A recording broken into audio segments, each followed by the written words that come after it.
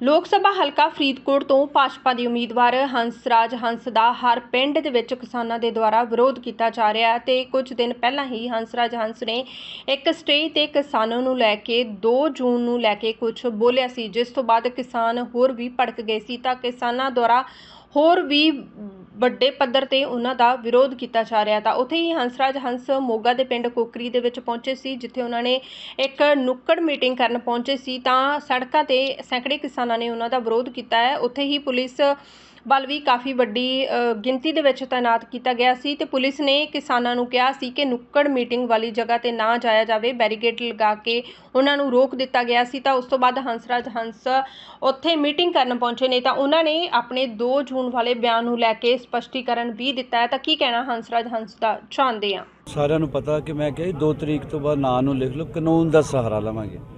ਔਰ 2 ਤਰੀਕ ਤੋਂ ਬਾਅਦ ਮੈਂ ਦੁੱਲਾ ਭੱਟੀ ਬਣ ਜਾਣਾ ਐਦਾਂ ਦਾ ਹੀ ਰਹਿਣਾ।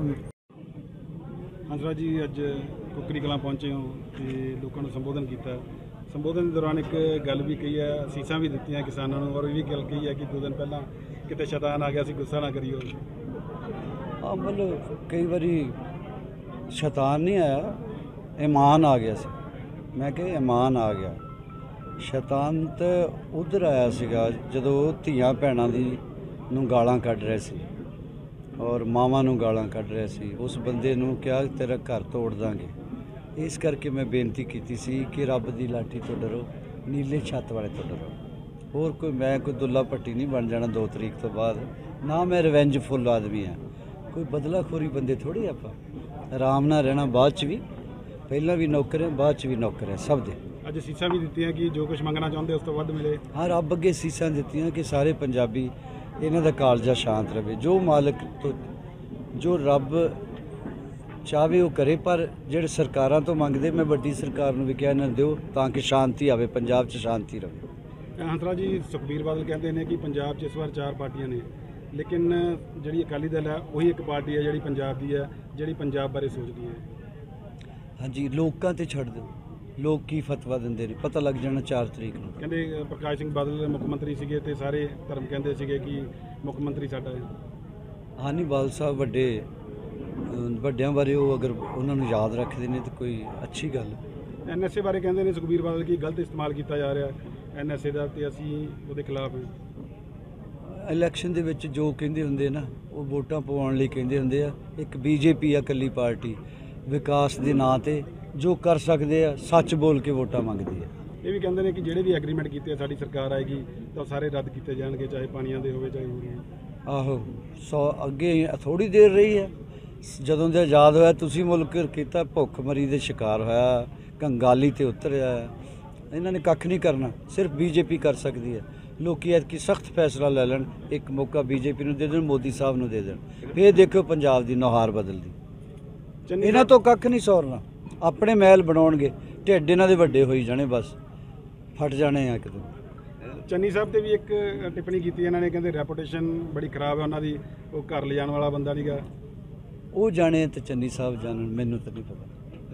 ਹੰਸਰਾ ਜੀ ਕੀ ਲੱਗਦਾ ਵੀ 2027 ਦੇ ਵਿੱਚ ਫਿਰ ਇਹ ਗੱਠਜੋੜ ਹੋਏਗਾ ਕਿ ਸਿਰਫ ਐਪ ਕੀ ਕੀਤਾ ਗਿਆ ਹੈਗਾ ਜਿਹੜਾ ਆਮ ਲੋਕਾਂ ਦੀ ਇੱਕ ਆਵਾਜ਼ ਹੈਗੀ ਆ ਵੀ 2027 ਦੇ ਵਿੱਚ ਰਿਜ਼ਲਟ ਇਹ ਯੁੱਗ ਪਲਟੇਗਾ ਲਹਿਰ ਚੱਲੇਗੀ।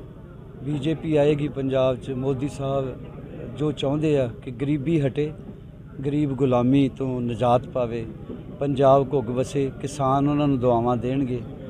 ਸਮਾਂ ਹੁੰਦਾ ਨਾ ਜਦੋਂ ਸਮਾਂ ਚੰਗਾ ਹੁੰਦਾ ਇੰਡਸਟਰੀਲਿਸਟ ਕਹਿਣਗੇ, ਸ਼ੁਕਰ ਹੈ ਮਾਲਕਾ, ਪੰਜਾਬ 'ਚ ਫੇਰ ਇੰਡਸਟਰੀ ਆਈ ਆ। ਮੈਂ ਤਾਂ ਕਹਿੰਦਾ ਪੱਲੇਦਾਰਾਂ ਤੋਂ ਲੈ ਕੇ, ਕਿਉਂਕਿ ਮੈਂ ਤਾਂ ਥੱਲੇ ਉੱਠਿਆ ਨਾ, ਰਾਜ ਮਿਸਤਰੀ ਮਜ਼ਦੂਰ, ਪੱਲੇਦਾਰ, ਖੇਤ ਮਜ਼ਦੂਰ, ਸਭ ਤੋਂ ਪਹਿਲਾਂ ਉਹਨਾਂ ਦੇ ਕਾਲਜੇ ਠੰਡੇ ਹੋਣ, ਸਫ਼ਾਈ ਸੇਵਕਾਂ ਦੇ ਕਾਲਜੇ ਠੰਡੇ ਹੋਣ। ਫਿਰ ਉੱਪਰ ਦਾ ਸੋਚੋ ਉਹਨਾਂ ਨੇ 에ਅਰਪੋਰਟਾਂ ਤੋਂ ਕੀ ਲੈਣਾ? ਸੁਖਬੀਰ ਬਾਦਲ ਇਹ ਵੀ ਕਹਿੰਦੇ ਨੇ ਬੰਦੀ ਸਿੰਘਾਂ ਦੀ ਰਿਹਾਈ ਲਈ ਪ੍ਰਯਾਸ ਕਰਨਗੇ ਉਹ ਯਤਨ ਕਰਨਗੇ। ਯਾਰ ਤੁਸੀਂ ਸੁਖਬੀਰ ਬਾਦਲ ਸਾਹਿਬ ਦਾ ਬੜਾ ਅੱਜ ਨਾਂ ਲੈ ਰਹੇ ਹੋ। ਕੀ ਉੱਥੋਂ ਆਏ ਆ? ਮੇਰੀ ਜੇ ਹੁਣ ਆਏ ਗਏ ਤਾਂ ਫਤਿਹ ਬੁਲਾ ਉਹ- ਉਹਨਾਂ- ਉਹਨਾਂ ਦਿਓ ਦੀ speech ਉੱਥੇ ਸੁਣ ਕੇ ਗਏ ਆਏ ਤਾਂ ਆ। ਮੇਰੀ ਫਤਿਹ ਬੁਲਾ ਦਿਓ ਮੇਰੇ ਲਈ ਰਿਸਪੈਕਟਡ ਨੇ ਸਭ ਲੋਕ। ਮੇਰੇ ਤੋਂ ਸਭ ਚੰਗੇ ਆ ਪਹਿਲੀ ਗੱਲ। ਹਮ ਨਾ ਹੀ ਚੰਗੇ ਬੁਰਾ ਨਾ ਹੀ ਕੋਈ।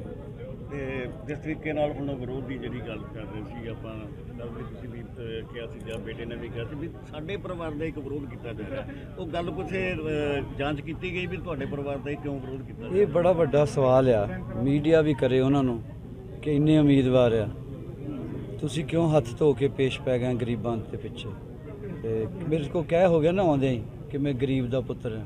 ਤੇ ਗਰੀਬ ਨੂੰ ਤਾਂ ਸਾਰੇ ਦਬਾਉਂਦੇ ਹੁੰਦੇ ਆ। ਪਰ ਮੈਂ ਖੁਦ ਨਹੀਂ ਹੁਣ ਗਰੀਬ। ਇਹਨੂੰ ਵੀ ਮੈਂ ਕਲੀਅਰ ਕਰਦਾ। ਗਰੀਬ ਦਾ ਪੁੱਤ ਜ਼ਰੂਰ ਹੈ। ਮੈਂ ਸਭ ਤੋਂ ਉੱਠ ਕੇ ਹੋਸ਼ ਸੰਭਾਲ ਕੇ ਗਰੀਬੀ ਦੀ ਲਾਂਤ ਨੂੰ ਵਗਾ ਕੇ ਮਾਰਿਆ। ਤੇ ਮੈਂ ਔਰ ਮੇਰੇ ਰਿਸ਼ਤੇਦਾਰ ਸਰਦੇ ਪੁੱਜਦੇ ਆ, ਕੋਈ ਰੌਲਾ ਨਹੀਂ। ਲੇਕਿਨ ਗਰੀਬ ਦਾ ਪੁੱਤ ਆ, ਇਸ ਕਰਕੇ ਗਰੀਬੀ ਪ੍ਰਤੀ ਹਮਦਰਦੀ ਆ, ਫਾਕੇ ਕੱਟੇ ਹੋਏ ਆ। ਇਸ ਕਰਕੇ ਮੈਂ ਚਾਹੁੰਦਾ ਕੋਈ ਭੁੱਖਾ ਨਾ ਸੌਵੇਂ, ਬਿਨਾਂ ਛੱਤ ਤੋਂ ਨਾ ਸੌਵੇਂ, ਤਾਂ ਕਿ ਗੁਰੂ ਰਵਿਦਾਸ ਮਹਾਰਾਜ ਜੀ ਔਰ ਬਾਬਾ ਸਾਹਿਬ ਭੀਮ ਰਾਓ ਅੰਬੇਡਕਰ ਔਰ ਗੁਰੂ ਨਾਨਕ ਸਾਹਿਬ ਸਾਰਿਆਂ ਦਾ ਸੁਪਨਾ ਪੂਰਾ ਹੋਵੇ। ਇੱਕ ਆਮ ਆਦਮੀ ਪਾਰਟੀ ਦੇ ਤੁਸੀਂ ਦੋ ਦਿਨ ਪਹਿਲਾਂ ਇੱਕ ਸਟੇਟਮੈਂਟ ਦਿੱਤੀ ਸੀ ਕਿ ਵੀ 2 ਤਰੀਕ ਨੂੰ ਦੇਖਾਂਗੇ। ਉਹ ਆਮ ਆਦਮੀ ਪਾਰਟੀ ਵੱਲੋਂ ਵੀ ਉਹਦੀ ਅ, Election Commission ਨੂੰ- ਸੋ ਕੋਈ ਵੀ ਹੈ ਉਹ ਸਾਰਿਆਂ ਨੂੰ ਪਤਾ ਕਿ ਮੈਂ ਕਿਹਾ 2 ਤਰੀਕ ਤੋਂ ਬਾਅਦ ਨਾਂ ਨੂੰ ਲਿਖ ਲਓ ਕਾਨੂੰਨ ਦਾ ਸਹਾਰਾ ਲਵਾਂਗੇ। ਔਰ 2 ਤਰੀਕ ਤੋਂ ਬਾਅਦ ਮੈਂ ਦੁੱਲਾ ਭੱਟੀ ਬਣ ਜਾਣਾ ਐਦਾਂ ਦਾ ਹੀ ਰਹਿਣਾ। ਨਹੀਂ ਫਿਰ ਐਮਪੀ ਦਾ ਬਣ ਜਾਣਾ। ਨਹੀਂ ਐਮਪੀ ਤਾਂ ਹੈਗੇ ਜੇ ਹੈਗਾ ਮੈਂ। ਜਦੋਂ ਨਵੀਂ ਸਰਕਾਰ ਬਣ ਤੱਕ ਬਣ ਕੇ ਦੇਖ ਵੀ ਲਿਆ ਕੋਈ ਕਹਾਣੀ ਨਹੀਂ। ਐਮਪੀ ਬਣ ਕੇ ਜੇ ਬੰਦਾ ਆਪਣੇ ਆਪ ਨੂੰ ਮੋਢਿਆਂ ਤੇ ਐਮਪੀ ਨੂੰ ਹੀ ਰੱਖੇ। ਆਖਰ ਤਾਂ ਮੈਂ ਇਨਸਾਨ ਹਾਂ। ਆਖਰ ਤਾਂ ਚਲੇ ਹੀ ਜਾਣਾ ਆਪਾਂ ਦੁਨੀਆ ਤੋਂ। ਇਹ ਇਹ ਰੁਤਬੇ ਨਹੀਂ ਰਹਿਣੇ। ਕਿਰਦਾਰ ਰਹਿ ਜਾਣਾ ਕਰੈਕਟਰ ਰਹਿ ਜਾਣਾ। ਕਰੈਕਟਰ ਰਹਿ ਜਾਣਾ ਬਸ।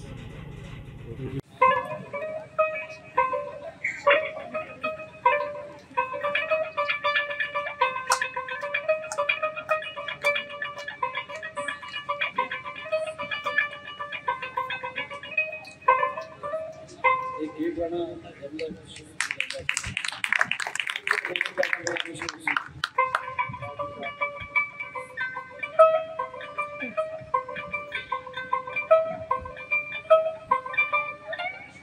ਭਗਤਾ ਜੀ ਜਗਤਾ ਭਗਤਾ ਜੱਜ ਤੇ ਨਿਸ਼ਾਨੀ ਦੇ ਭਗਤ ਰਾਵਾ ਮਾੜਾ ਜਿਹਾ ਸੁਣਾ ਦਿਓ ਜੀ ਖੜਾ ਕਿਤਾ ਸ਼ੁਰੂ ਕਰ ਦਿੰਦੇ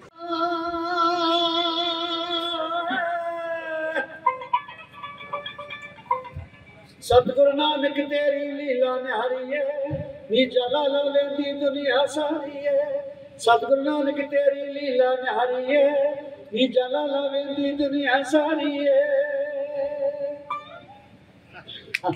ਦੂਜਾ ਵੀਡੀਓ ਨੇ ਗਾਣਾ ਉਹਦੇ ਡਿਊਟ ਵੀ ਚੰਗੇ ਹੁੰਦੇ ਸੀ। ਹੁਣ ਤਾਂ ਡਿਊਟ ਹੋਰ ਹੀ ਤਰ੍ਹਾਂ ਦੇ ਓਕੇ ਤੇਰੇ ਵਿਆਹ ਦੀ ਮਰੂਤੀ ਥੱਲੇ ਨਹੀਂ ਢਿੱਡ ਨਾਲ ਬੰਬ ਬੰਨ ਕੇ ਤੇਰੇ ਵਿਆਹ ਦੀ ਮਰੂਤੀ ਥੱਲੇ ਫਟਣਾ ਮੈਂ ਕਿਹਾ ਫਟੇ ਨੂੰ ਪਰੇ ਹੋ ਕੇ ਮਾਰੋ ਉਹਨੂੰ ਉਹਨੇ ਡਿਊਟ ਗਾਉਣੇ ਬੀਬੀ ਮਹਿੰਦਰਜੀਤ ਕੌਰ ਸੇਖੋਂ ਗਾਉਂਦੇ ਹੁੰਦੇ ਸੀ ਨਾਲ।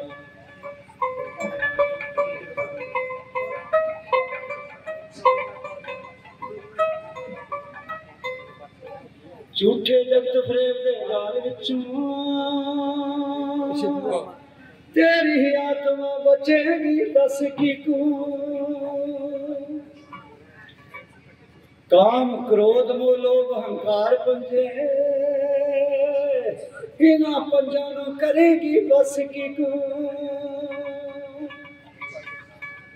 ਜਗਤੇ ਨੂੰ ਛੱਡ ਕੇ ਤੂੰ ਭਗਤੇ ਨੂੰ ਕਰ ਲੈ। ਜਿੰਨ ਤੇਰਾ ਹੋਣਾ ਐ ਸਹਾਈ, ਨੀ ਹੈ ਜਿੰਨ ਤੇਰਾ ਹੋਣਾ ਐ ਸਹਾਈ।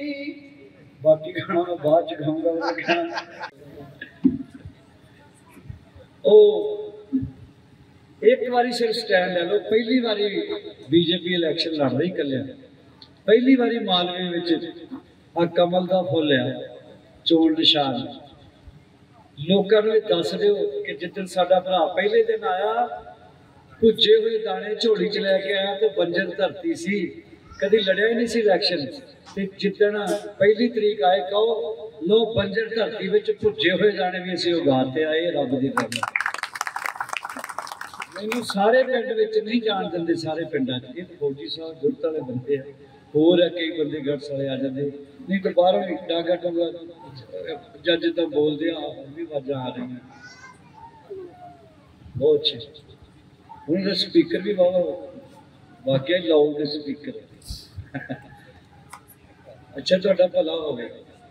ਤੁਹਾਨੂੰ ਰੱਬ ਤੁਹਾਡਾ ਭਲਾ ਹੋਵੇ, ਤੁਸੀਂ ਜੋ ਚਾਹੁੰਦੇ ਰੱਬ ਤੁਹਾਨੂੰ ਦੇਵੇ। ਜੇ ਕੋਈ ਜੇ ਘਾਟ ਹੈ ਤਾਂ ਹੋਰ ਪੂਰੀ ਕਰੇ। ਜੇ ਜੇ ਕੋਈ ਕਮੀ ਰਹਿ ਗਈ ਹੈ, ਹੋਰ ਪੂਰੀ ਕਰੇ। ਇਹੋ ਹੀ ਆਪਾਂ ਅਰਦਾਸ ਕਰ ਸਕਦੇ ਹਾਂ। ਲੇਕਿਨ ਗਰੀਬਾਂ ਨੂੰ ਵੀ ਬੋਲਣ ਦਿਓ। ਗਰੀਬਾਂ ਦੇ ਬੱਚਿਆਂ ਨੂੰ ਵੀ ਕਿਤੇ ਪਾਰਲੀਮੈਂਟ 'ਚ ਜਾਣ ਦਿਓ। ਮੇਰਾ ਦਿਲ ਕਰਦਾ ਅਗਲੀ ਵਾਰੀ ਆਵਾਂ ਤੇ ਗਰੀਬਾਂ ਦੇ ਬੱਚੇ ਐਮਐਲਏ ਵੀ ਬਣੇ ਹੋਣ, ਚੇਅਰਮੈਨ ਲੱਗੇ ਹੋਣ। ਆਪਣੀਆਂ ਜ਼ਮੀਨਾਂ ਹੁਣ ਮਾੜਾ ਮੋਟਾ। ਇਦਾਂ ਦਾ ਸ- ਸੁਪਨੇ ਆ ਤਾਂ ਅਰਦਾਸ ਕਰਿਓ ਐ ਸੱਚਾ ਪਾਤਸ਼ਾਹ। ਬੰਦਾ ਕੱਖ ਨਹੀਂ ਹੁੰਦਾ ਹੰਸਰਾ ਹੰਸਰਾਜ ਕੱਖ ਨਹੀਂ। ਜੇ ਤੂੰ ਚਾਹੇ ਤੇ ਕੰਗਣਾ ਵੀ ਪਹਾੜੀ ਚੜ ਸਕਦਾ। ਇਸ ਕਰਕੇ ਪਹਿਲੀ ਤਰੀਕ ਨੂੰ ਕਮਲ ਦਾ ਫੁੱਲ ਯਾਦ ਰੱਖਿਓ। ਤੇ ਜਿੰਨਾ ਮਰਜ਼ੀ ਗੁੱਸੇ 'ਚ ਕੋਈ ਆਵੇ ਤੇ ਤੁਸੀਂ ਗੁੱਸੇ 'ਚ ਨਾ ਆਇਓ। ਮੇਰੇ ਤੇ ਕੱਲ ਪਰਸੋਂ ਸ਼ੈਤਾਨ ਦਾ ਪਹਿਰਾ ਹੋ ਗਿਆ ਉਹ ਇੱਕ ਵਰਕਰ ਨੂੰ ਨਾ, ਉਹਦੀ ਧੀ ਨੂੰ ਨਾ, ਬੇਟੀ ਨੂੰ। ਮੈਨੂੰ ਬੇਟੀਆਂ ਨਾਲ, ਮੇਰੀ ਬੇਟੀ ਹੈ, ਮੈਨੂੰ ਪਿਆਰ ਬਹੁਤ ਹੈ। ਉਹਦੀ ਉਹਨਾਂ ਨੇ ਕੋਸ਼ਿਸ਼ ਕੀਤੀ ਬਹੁਤ।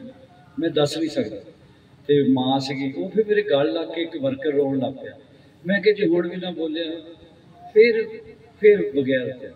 ਬੇਅੰਕ ਹੁਣ ਬੋਲਣਾ ਚਾਹੀਦਾ। ਉਹ ਪਹਿਲੀ ਵਾਰੀ ਡੇਢ ਮਹੀਨੇ ਚ ਮਾੜਾ ਜਿਹਾ ਮੈਂ ਬੋਲਿਆ ਸੀ।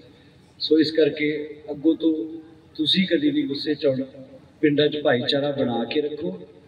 ਪਿੰਡਾਂ 'ਚ ਆਪਣਾ ਪਿਆਰ ਬਣਾ ਕੇ ਰੱਖੋ, ਕੋਈ ਗੱਲ ਨਹੀਂ। ਇਲੈਕਸ਼ਨ ਚੱਲਦੇ ਰਹਿੰਦੇ ਆ। ਪਹਿਲੀ ਤਰੀਕ ਨੂੰ ਚੋਣ ਨਿਸ਼ਾਨ ਯਾਦ ਹੈ ਨਾ ਯਾਦ ਰੱਖੋਗੇ ਚੋਣ ਨਿਸ਼ਾਨ ਇੱਕ ਵਾਰੀ ਤੁਸੀਂ ਬੋਲਦੇ ਜਰਾ ਹੌਸਲੇ ਜਰਾ ਜਾਈਏ ਧੁੱਪੇ ਧੁੱਪੇ ਚੋਣ ਨਿਸ਼ਾਨ ਮੇਰੀਆਂ ਬੇਟੀਆਂ ਮਾਵਾਂ ਭੈਣਾਂ ਵੀ ਬੋਲਦੇ ਚੋਣ ਨਿਸ਼ਾਨ ਬਸ ਪਹਿਲੀ ਨੂੰ ਨਾ ਜਾਇਓ ਭੁੱਲ ਇਹ ਨਾ ਹੋਵੇ ਬੱਤੀ ਹੋ ਜਾ ਗੁੱਲ ਤੇ ਤੁਹਾਡਾ ਬਾਈ ਜਾਵੇ ਰੋਲ ਹੈ ਕਵੇ ਦਿੱਲੀ ਜਾ ਕੇ ਘਰ ਹੁਣ ਚੋਲ ਨਹੀਂ ਰੋਣ ਦਿੰਦੇ ਜੀ। ਯਾਰ ਤੂੰ ਵੀ ਕੌਣ ਵਜਾਉਂਦਾ ਸੀ? ਤੂੰ ਵੀ ਕੌਣ ਮਿੰਟ ਕੇ ਲਈ ਦਓਗੇ ਦੇਖੇ ਸ਼ਾਇਦ ਯਾਦ ਹੋਵੇ।